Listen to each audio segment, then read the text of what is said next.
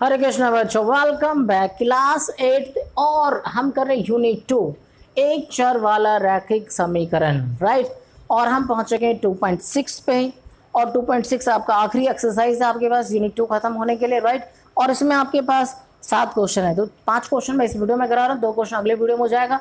तो आपका ये टू पॉइंट सिक्स यहाँ पर ख़त्म हो जाएगा राइट और जब है टू पॉइंट सिक्स ख़त्म होगा तो फिर हम देखेंगे राइट फिर हम देखेंगे, यानी थर्ड यूनिट में पहुँचेंगे। तो मैं देखते हैं यहाँ पर हम कैसे करते हैं। हमारे पास शुरू के जो पाँच क्वेश्चन है, उसको कैसे कवर करते हैं राइट तो देखो यहाँ पे पहला क्वेश्चन आपके पास एट एक्स माइनस में थ्री और आपके पास यहाँ पे three x equal to equal to क्या होगा आपके पास टू हो गया राइट तो हमने क्या किया? देखो यहाँ पे इसमें क्या कर रहा था? क्रॉस मल्टीप्लाई किया हमने राइट तो देखो इसके नीचे एक मान लोगे आप, है ना?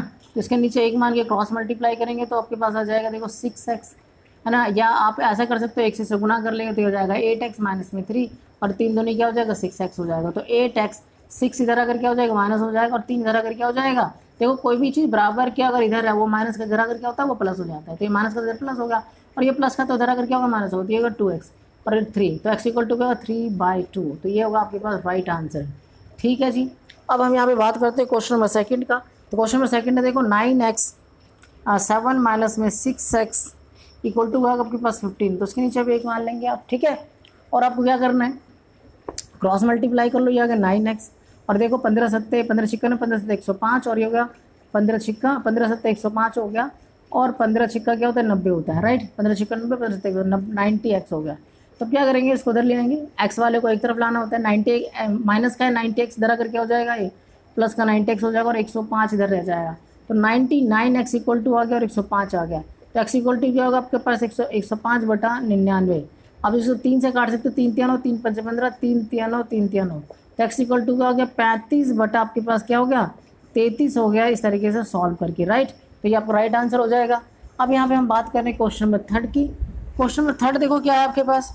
जेड अपॉन में जेड प्लस में फिफ्टीन, राइट? और आपके पास यहाँ पर है चार बटा नौ। ठीक है जी?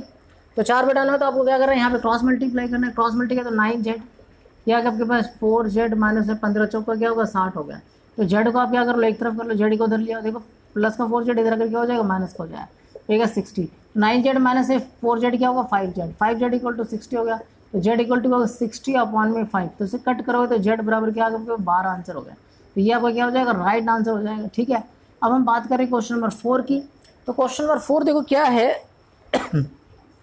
कि जो थ्री वाई है प्लस में फोर है अपॉन आपके पास यहाँ पे टू माइनस में सिक्स वाई इक्वल टू आपके पास क्या है? माइनस का टू अपॉन में फाइव है। ठीक है? इस तरीके से इसको सॉल्व करना।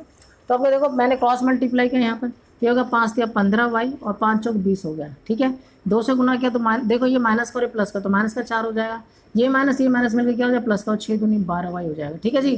अब क्या करना है आपको देखो वाई वाई वाले को एक तरफ़ करो, पंद्रह वाई वाई धरा कर क्या हो जाएगा माइनस का बारह प्लस का बारह वाई धरा के हो जाए माइनस का हो जाएगा, ठीक है? तो ये माइनस का चार आपके पास तो बीस धरा कर क्या हो जाएगा, ये भी धरा कर माइनस का हो जाएगा, ठीक है? तो ये हो जाएगा पंद्रह में से बारह गया तो तीन वाई और ये क्या होगा माइनस का चौबीस होगा, बीस और चार कितना होगा आपके पास, चौबीस तो वाई इक्वल टू क्या होगा माइनस का चौबीस बटा तीन हो गया, इसे कट कर दो वाई इक्वल टू हो गया माइनस का एट हो गया राइट तो ये आपको क्या हो जाएगा यहाँ पे राइट आंसर हो जाएगा वाई इक्वल टू माइनस में एट अब यहाँ हम बात करें क्वेश्चन नंबर फाइव की।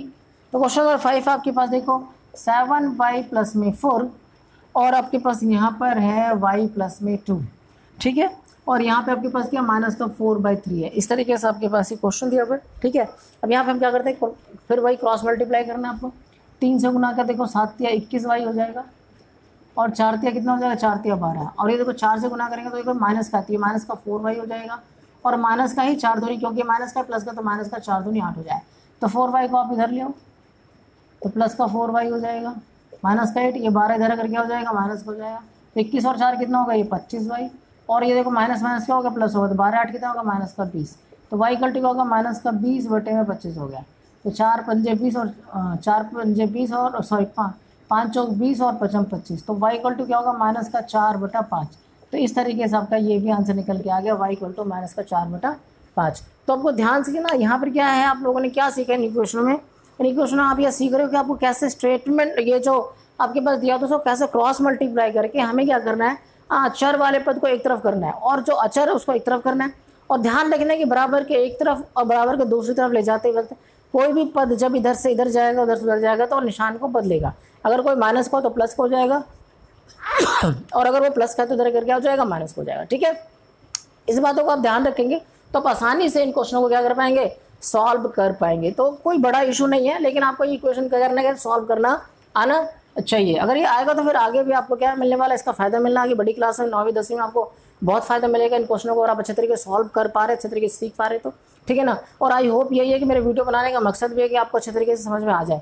तो प्लीज़ क्या करना है आपको? और उम्मीद भी है कि आपको समझ में भी आएगा तो क्या करना है आपको? यस अपने दोस्तों को, अपने भाई बहनों को ज़रूर शेयर करना है, उनको बताना है कि आपका 2.5 का ये जो आपको ज़रूरत है तो आप इसे आराम से 2.6 यानी आपकी ज़रूरत है तो इस वीडियो को आप ज़रूर देखें राइट तो उनको शेयर करना है, और फिर अगर आप इस वीडियो के साथ नए हैं तो आपको क्या करना है? ये सब्सक्राइब कर लेना ताकि आपको मेरे अगले वीडियो का नोटिफिकेशन आपको मिल जाए और मेरे चैनल के साथ बने रहना है। क्यों बने रहना है? क्योंकि छठी से लेकर बारहवीं तक एन में धीरे धीरे करके सारे क्वेश्चन इसके ऊपर अपलोड करने जा रहा हूँ। ठीक है, थोड़ा समय लग रहा है, लेकिन आपको जब आप मेरे मेरे साथ लंबे समय बने रहेंगे तो आपको छठी से लेकर बारहवीं तक आपको आसानी से इस, आप, ये जो वीडियो है, ये जो चैनल है, आपकी बहुत बहुत बहुत मदद करने वाला है इन फ्यूचर राइट तो ठीक है थैंक यू मेरे चैनल को देखने के लिए आपका बहुत बहुत धन्यवाद।